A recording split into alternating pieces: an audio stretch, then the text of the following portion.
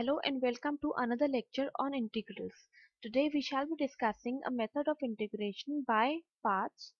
and later we are going to deal up with some numerical problems that would be based on integrating a given function by using the method of integration by parts.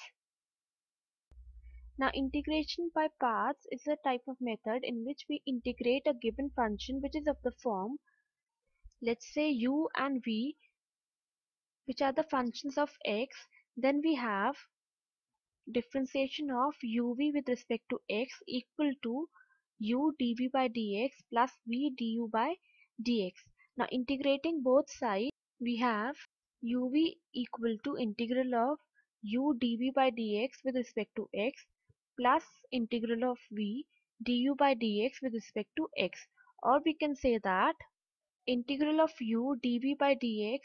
with respect to x is equal to uv minus integral of v du by dx with respect to x. Now this equation has been labeled as equation number 1. Now we suppose u and v which are function of x as u equal to fx and dv by dx equal to phi x. Then du by dx is equal to f dash x where f dash different refers to the differentiation of function fx and v is equal to integral of phi x with respect to x. Now substituting these values in equation 1 we get integral of fx into phi x with respect to x is equal to fx into integral of phi x with respect to dx minus integral of brackets integral of phi x with respect to x into differentiation of fx and whole integrated respect to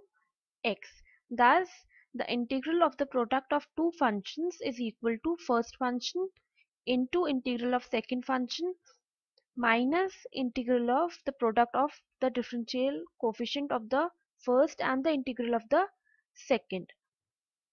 Now while choosing u and v in such a way that the second function v on the right hand side is easy to integrate. We are going to set up few guidelines. The first one is that if both the functions in the product can be easily integrated separately and one of them is of the form xn x being a positive integer then we take xn as the first function. The second guideline is that if one of the two functions in the product is a logarithmic or an inverse trigonometric function, it must be taken as the first function. And the third guideline is that the rule of integration by parts is useful in integrating single functions like logarithmic and inverse trigonometric function. For this unity that is 1 is taken as the second function. Following these three guidelines, we can choose the values of u and v in such a way that v can be easily integrated.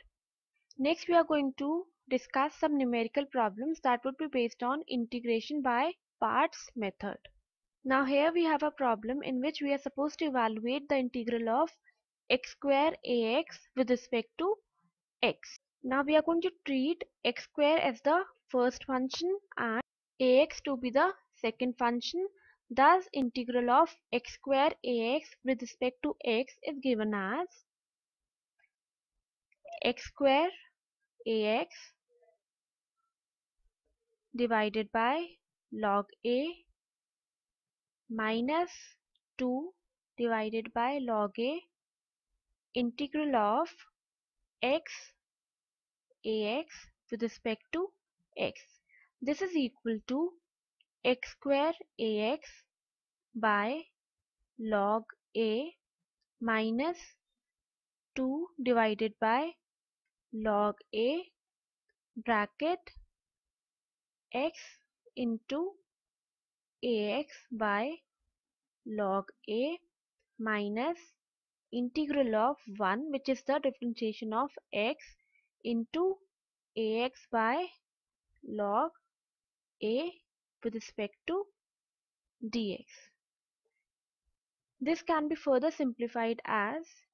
x square ax divided by log a minus 2x ax upon log a whole square plus 2 divided by log a square into integral of ax with respect to x. This can be further rewritten as x square ax divided by log a minus 2x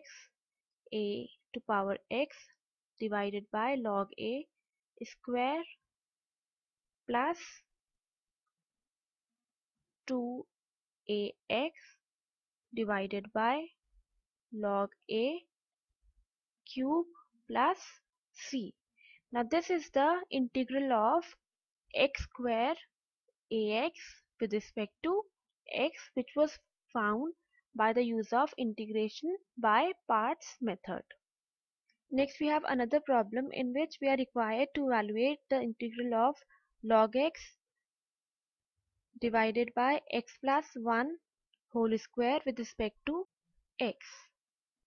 Now integrating by parts by taking log x as the first function we have this integral equal to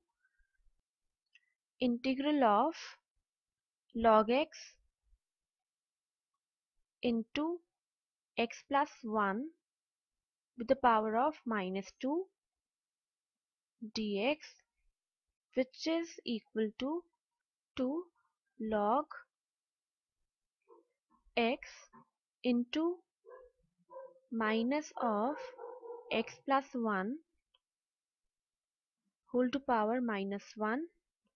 minus integral of 1 by x into minus of x plus 1 whole to power minus 1 with respect to x which gives us a value of minus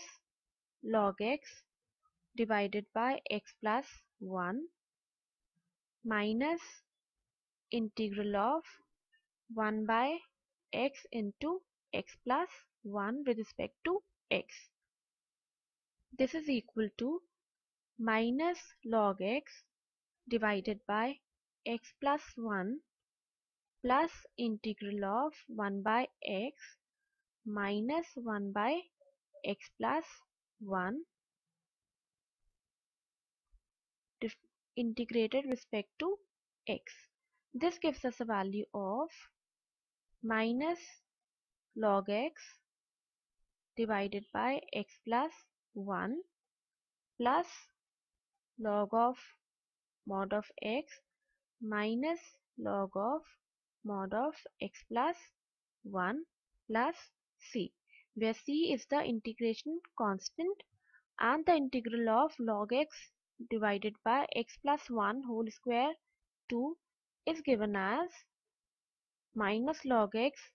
divided by x plus 1 plus log x minus log x plus 1 plus c. Thus by the use of integration by parts and taking log x as the first function we have evaluated the value of the given integral. With this problem we conclude this lecture on integrals which was based on integration by parts when two functions have been given to us for integration.